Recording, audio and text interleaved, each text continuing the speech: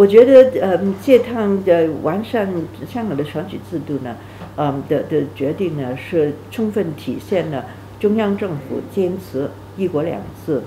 啊嗯呃还是那个中央对特区的县级上的地位，在那个建立特区政府的制度上，啊中央有实权啊，嗯这一趟呢，特别把那个港人治港的理念。用的那个这这策略上的去的体现，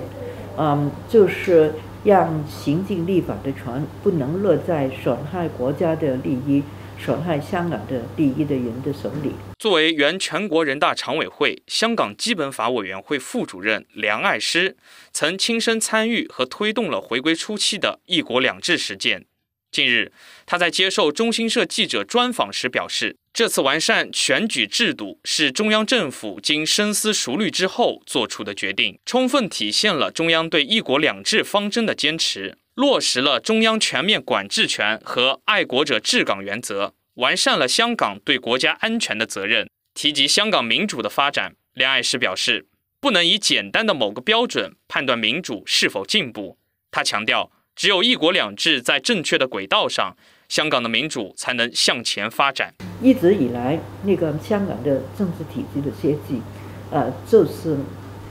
按照一国两制的那个概念，呃，要考虑到香港的法律地位，呃，要嗯兼顾各阶层的利益，适合香港的实质情况的发展一个民主制度。那嗯，过去几年发生的事情呢？呃，可以看到“一国两制”是不是有九样有变形呢？所以一定要把那个呃行政立法的那个权利呢配置的呃很好，回到原来的那个呃轨道上，然后才能民主才能往前发展。梁爱诗强调，这次完善选举制度是对香港民主制度的优化，不是收窄或倒退。例如，立法会议员由七十名增至九十名。选委由一千二百名增至一千五百名，他亦指出，后者的组成更接近基层组织，让整个选委会有更广泛的代表性。其实，选举委员会他的权力是扩大了，除了那个嗯选举行政长官以外呢，他要负责提名参选立法会的议员，还有选出立法会的呃九十席里面的四十席。嗯，同时呢，他的人数也扩充了，啊，以前是一千二百人，现在是一千五百人，嗯，的他们的那个组成呢，也是更的广泛的有代表性，各阶层的人都会加进去，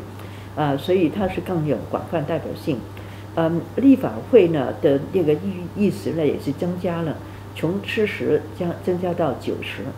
啊，其中事实是选举委员会选出来的，意思就是他们更具啊广泛的代表性